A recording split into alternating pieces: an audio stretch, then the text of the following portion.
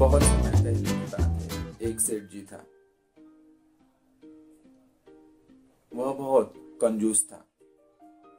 एक दमड़ी भी खर्च करने में उसके प्राण निकल जाते थे। लोगों से काम कराने के बाद उनके पैसे देने में वह लोगों को बहुत परेशान करता था। उसी सेठ जी ने एक चित्रकार से अपना एक चित्र बनवाया।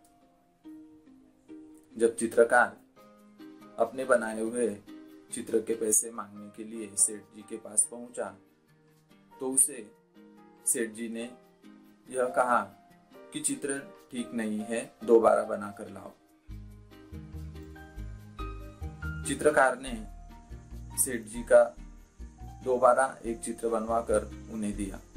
लेकिन कई बार चित्र देने पर भी सेठ जी ने उसे यही जवाब दिया कि चित्र ठीक नहीं है, दोबारा बनाकर लाओ। क्रोधित होकर चित्रकार ने सेठ जी को दिए हुए अपने सारे चित्रों के पैसों का तकादा कर लिया।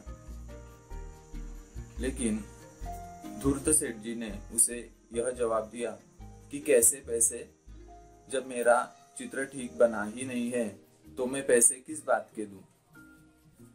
बेचारा चित्रकार परेशान होकर अपने घर लौट गया परेशानी का कारण पूछने पर चित्रकार ने अपनी पत्नी को सारी बातें बताई। चित्रकार की पत्नी बहुत बुद्धिमान थी।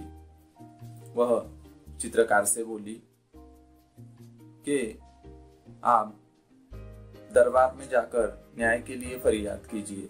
आपको वहाँ ज़रूर न्याय मिलेगा। लेकिन चित्रकार बहुत ही निराश हो चुका था। चित्रकार ने कहा कि वह एक गरीब आदमी है और दरबार में मुझ गरीब आदमी की कौन सुनेगा?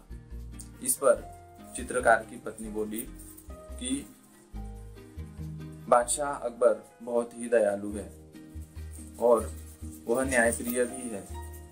उनकी सहायता के लिए उनके दरबार में नौ नौ रत्न है। आप दरबार में जाइए, आपको वहाँ ज़रूर न्याय मिलेगा। दूसरे दिन चित्रकार बादशाह अकबर के दरबार जा पहुँचा और उन्होंने बादशाह अकबर को सारा किस्सा सुना दिया। बादशाह अकबर ने चित्रों को लेकर सेठ जी को दरबार में बुलवा लिया। उन्होंने सेठ जी से पूछा कि तुम्हारे चित्रों में क्या कमी है?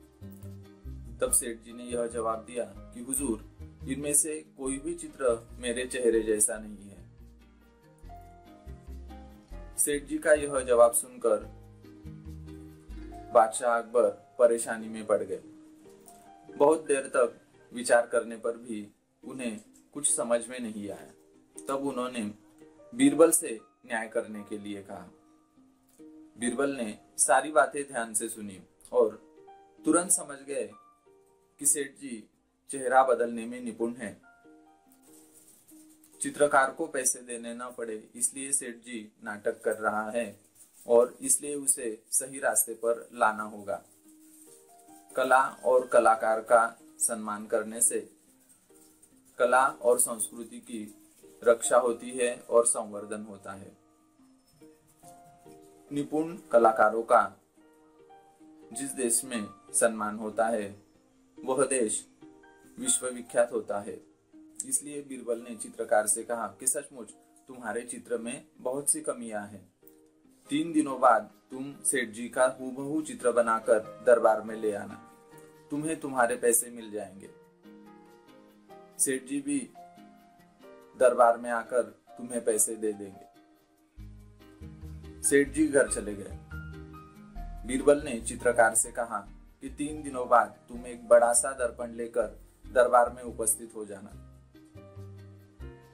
तीन दिनों बाद जब सेठ जी दरबार में आए, तब चित्रकार ने एक बड़ा सा दर्पण सेठ जी के सामने रखा और कहा, तुम्हारा चित्र तैयार है। दर्पण में अपना प्रतिबिंब देखकर सेठ जी बोले, लेकिन यह तो दर्पण है। परंतु यही असली चित्र है। बीरबल बोले, यही तुम्हारा असली रूप है। है या नहीं? सेठ जी बोले, जी हाँ। अपनी चालाकी पकड़े जाने पर सेठ जी बहुत लज्जित हुए। उन्होंने चित्रकार को अपना मेहनताना दे दिया। चित्रकार भी सभी का आभार प्रदर्शित कर अपने घर चला गया। इस प्रकार बादशाह अकबर की कई समस्याओं का समाधान बीरबल अपनी चतुराई और बुद्धिमानी से किया करते थे। इस बार भी बीरबल ने अपनी बुद्धिमानी से और चतुराई से दूध का दूध और पानी का पानी कर दिखाया था।